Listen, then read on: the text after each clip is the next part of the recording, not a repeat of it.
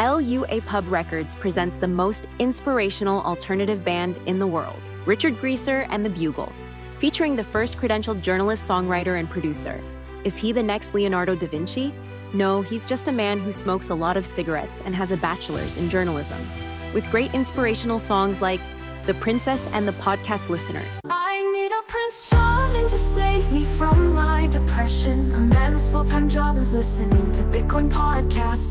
The hit track, Non-Compliant 1776. All across the country, the people are awakening. Politicians are quivering and shaking. This one of a kind album titled Now That's What I Call Defiance is filled with instant classics.